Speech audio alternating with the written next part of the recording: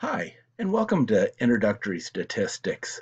Let's start off the course by looking at Chapter 1 from Robert Pagano's Understanding St Statistics in the Behavioral Sciences. This first chapter is lays down some of the foundations for doing statistics, some of the key uh, definitions, some of the key concepts, and we're going to be going over a few of them, not all of them, uh, in this uh, presentation. Let's start off with why is statistics important? Uh, most people don't want to be taking a statistics course. Others are saying, "Oh, this sounds kind of fascinating." Um, well, let me let me present a few reasons on why I think statistics are important. Now, there's other reasons, but I just want to emphasize two. One is that statistics is clear thinking with the information that we have. Humans suffer from a phenomena known as bounded rationality we can get lots of information, we can process a lot of that information, but we might not process it very well. We can easily go into overload mode. We can use faulty thinking and use heuristics to take mental shortcuts. Uh, there's all kinds of limitations to, to, to what we do with the information. Whereas statistics gives us a set of procedures that we know are true so that we can make conclusions about how sure we are about certain things. Since there's a lot of stuff that we don't know and we want to understand better, statistics is an extremely useful tool, especially when we're studying human behavior, because there's a huge variety of human behavior um, and that can only be, be described from a statistical point of view. We can't say that, oh, all humans are like this or all humans are like that. We can say that usually this is the general trend that we see in humans. Let's look at a, a couple of examples where we might be able to discuss these questions, but we couldn't come up to any uh, definitive answers without actually getting data.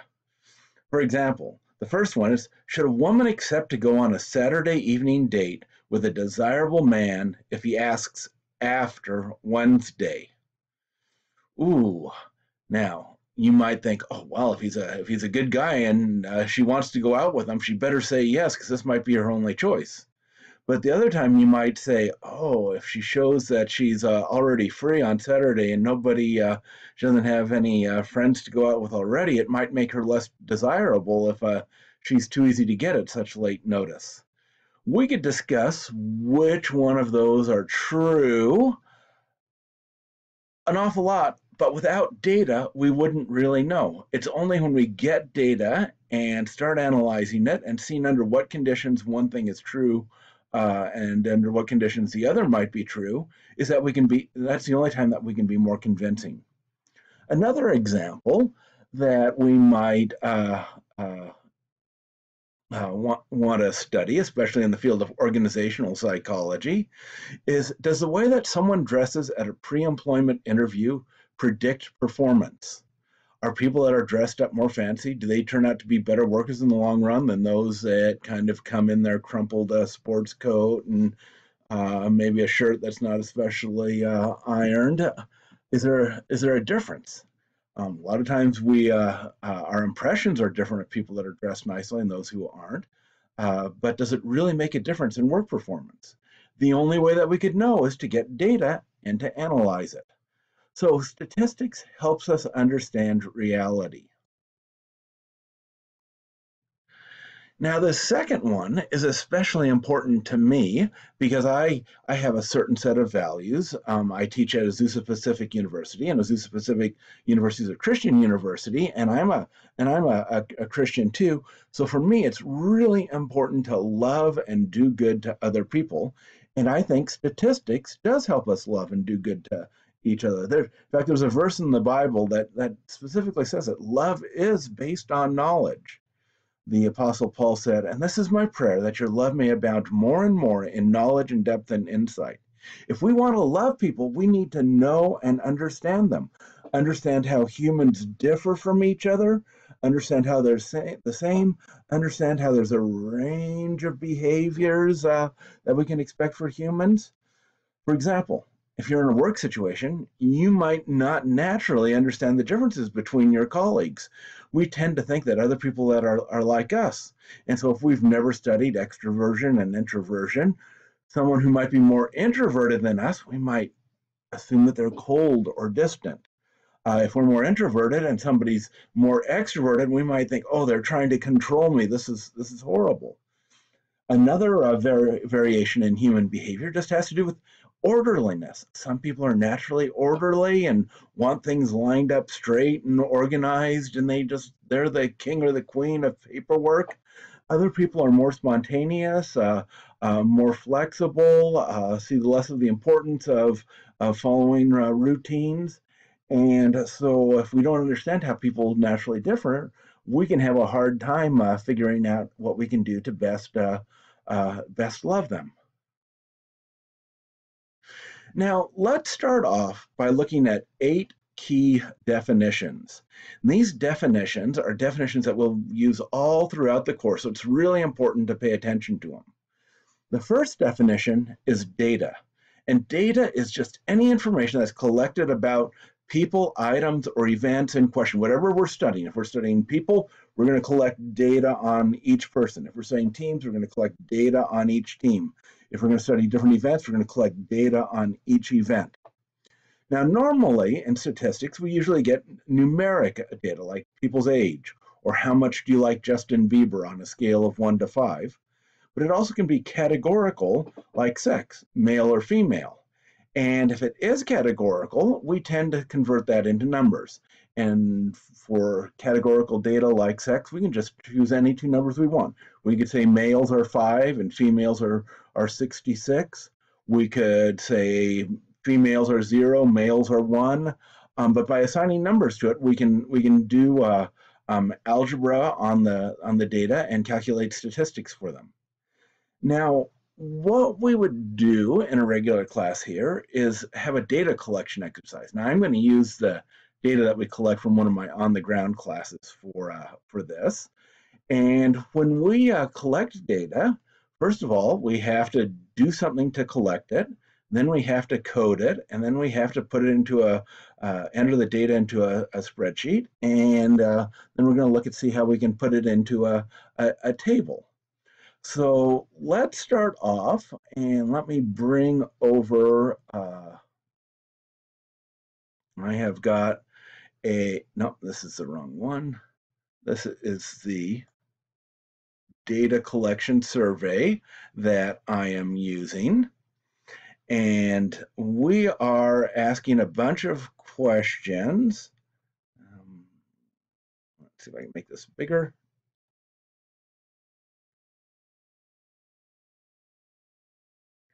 Just to get data. And the way that we're coding the data is one means definitely no, and five means definitely yes, and two and five are in between there. So I've got a bunch of psychological values where I'm asking about liking and what you think and what you feel here. And so I have questions like, do you like Justin Bieber? Five would be definitely no. Five is definite. One is definitely no. Five is definitely yes. Do you like the Kardashians? Do you like Star Wars? Do you passionately love your current or most recent job? Do you plan on staying at your, cur- your current or job for a long time? Still using this one to five scale. Uh, then got some questions about a boss. Do you have an awesome boss? Do you have a boss who cares about you as a person? Do you have a boss who's competent? They're similar, but not exactly the same. Uh, do you see yourself as someone who is talkative? Do you see someone who's as someone who is reser reserved? Do you see yourself as someone full of energy? Do you see yourself as someone who generates a lot of enthusiasm? Do you see yourself as someone who tends to be quiet? So these all these last five questions all have to do about extroversion and introversion.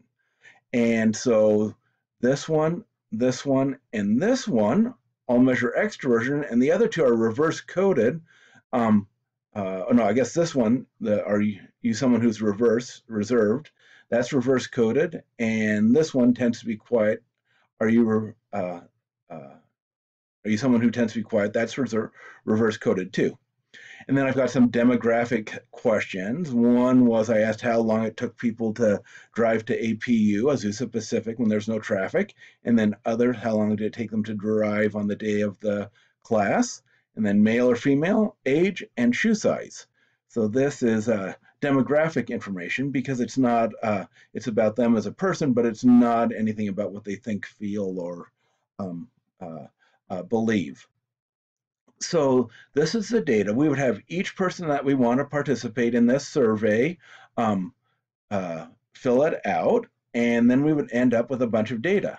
Now, what we could do with it is the next thing to do would be to record it on an Excel spreadsheet. And uh, what I've done is I've coded each variable up here. Now, before we look at this Excel spreadsheet, let's go to the, the code book. What do, what do I mean by codes? Here, I've given a code to each question. So this is these are the same questions. And like the question, do you like Justin Bieber? I call that Bieber. Do you like the Kardashians? I call that the Kardashians. Do you passionately love your current or most recent job? I called that job commitment one. Do you plan on staying on your current job for a long time? Job commitment two. And I asked then boss one, boss two, boss three. Are those questions about bosses? And then the five questions on uh, extroversion, I called them E1 through E5, except for E2 and E5 that were reverse scored. The low scores uh, indicate extroversion and the high scores indicate uh, introversion. I called that E2 reverse and E5 reverse. Then we've got commute with no traffic, commute with traffic, sex, age, and shoes. And then once we get this data entered, we need to calculate some variables, some calculated variables or um, composite variables. Now, the first thing that we're going to need to do is we're going to need to unreverse the scores. And the formula for unreversing scores is that the unreversed score equals the highest score possible plus the lowest score possible. So that would be 5 plus 1 minus the reversed score. So E2, that's not reversed, would be 5 plus 1. That'd be 6 minus the E2 reversed scored and E5 is going to be 6 minus the E5 reverse scored. Now what we're going to do is we're going to take the five extroversion questions and we're going to average them. Since their unreversed scores all measure different components of the same personality trait, we're going to make a composite variable out of the five. So I'll add up E1 through E5 and then divide that by 5. I will do that for a job commitment score too, um, where we've got JobCom1 and JobCom2, and something with the relationship with boss where we add them all together and then divide by the number of uh, questions that are being asked. So this is our data um, uh, uh, uh collection code book that we will use. And then we get our data, uh, we set up an Excel spreadsheet and we uh, enter in all the numbers. So we might have the first person might have like hated Justin Bieber, hated the Kardashians, loved Star Wars, has a pretty good, uh, uh, is, is happy with their job and is playing to stay there. And we would do that for each person. Each person is one line. And then after we fill in everybody that we got, one of the things that we can do on Excel is change this into a table. So if I just click somewhere where we've got data already, now if we had data for 11 people, this would all be filled up with numbers. We can change this into a table by uh, going to the Insert tab and pressing Table, and it says, is this the data for your table? I said, yep, that's where it is, and my table has headers. So I've got the checkbox, and so these are going to be the, the variable names, and I press OK, and it sets it up in a nice uh, table that's easy to read. It's got arrows if you want to sort uh, the information or filter the information. And uh, if we add extra lines, it'll continue to uh, uh, include the new information in the, the tables. So let's look at what this would look like when it's all set up.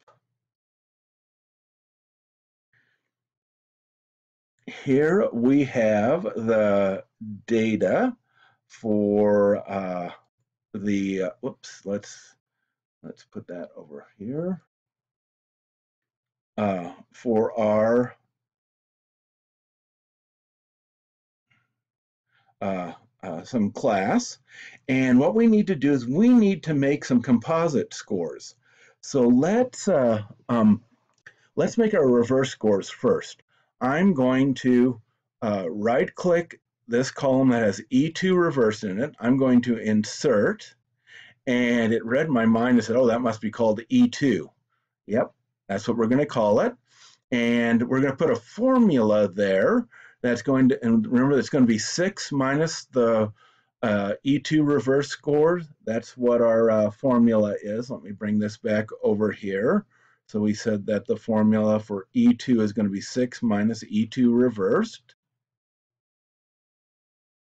So we're going to do equals, that's how you introduce an Excel formula, 6 minus, and then this is L2. So I'm going to put L2 there, and then I put enter, and it calculated the first one. Now it's got this little function box here. If I click on that, it says overwrite all cells in this column with this formula. You know it. Yep, that's what we want to do and it calculates E2 for everybody. Now, now we've got E2. Let's go for E5. Let's highlight the whole column, insert. It read our mind that it's E5, and we're going to do equals 6 minus, and then the E5 reversed is P2, P2, enter, and we'll do it for all of the cells in that column. And uh, that's uh, um, what our data is here. Now, what uh, what else should we do? Now, we can actually get rid of these reverse scores. Now, you want to keep a backup copy, but we don't need the reverse scores anymore. And but um, one of the things that we have to do is these the unreversed scores are memorized as a formula. So if we were to delete that column, the data used to calculate this column would disappear. So what we need to do is we need to convert these formulas into values. So I click on the first one, and then I select the all the numbers. So I go shift down arrow, and I select all the numbers there that are actually calculated from formulas. I do control copy, and then I go to paste, and I'm going to taste choose paste values, and that will change the formulas. So before it had a formula up in the formula bar, now it's got a number. And that way I can, now I'm going to unselect these, escape. And now I can go to E2 reversed and I can uh, delete this, delete that column. And we've just got E1, E2, E3. And we're going to do the same thing for the E5. So let's select all of the E5s that are calculated from a formula with the shift arrow keys. I'm going to control C to copy. I'm going to go to paste and I'm going to paste values, the first one that's there. And we're going to paste those values there. And then we, uh, um, I can go over to the E5 column and I can delete that now. Oh, what happened? Control Z. Let's see, did the paste values work? Oh, the paste values didn't work. So let's, uh, let's try that again. I'm going to select the whole. Uh, so I'm going to do control copy, and then I'm going to go to paste, paste values, and maybe I clicked on the wrong key. Now they're all values. So now I can go to, I can delete that column, delete, and there we have just E1 through E5. So let's let's calculate some uh, composite values now. So I'm going to com uh, combine job commitment one and job commitment two. I will insert a column there. So I right clicked on the column and chose insert. And this is just I'm going to just call this uh, what did I say on the uh, I was just going to call this um, job com without a number. So I click on the title there. I go into the formula bar and I delete that three. Press enter And now this formula for this is going to be, it's going to be uh, E2, E, let's put in parentheses, E2 plus F2 divided by 2. And we're going to press enter. And then we're going to select yes, override all cells there. And now we've got job commitment for both of them. Now I'm going to leave JobCom1 and JobCom2 in there because they're not really measuring the same thing. One was measuring uh, they passionately love their job, and the other was measuring if they're planning on staying. So I'm going to keep all three variables. Now let's go over and create a, a relationship with boss variable. So I'm going to right click on column K, press insert. I'm going to call this uh, rel boss. And then I'm going to calculate that as being equal, and I'm going to do H2 plus I2 plus J2. Notice how the, the cells that I'm using are lighting up so that we can tell if I'm making a mistake or not. And then I'm going to do divide by 3. I'll do enter and ask, do you want those for all of those? Overwrite all the cells. Now look at those numbers. Those are those long decimals aren't very nice. I want to round those numbers. We can round numbers in Excel by selecting the column and then up in this under the home tab under numbers we can choose the format called number which rounds it to two decimal points.